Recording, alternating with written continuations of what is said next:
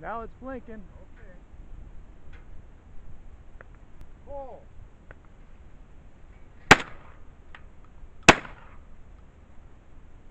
Keep going.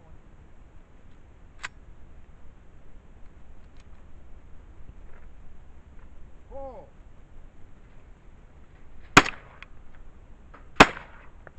Okay, hit the button and it'll stop.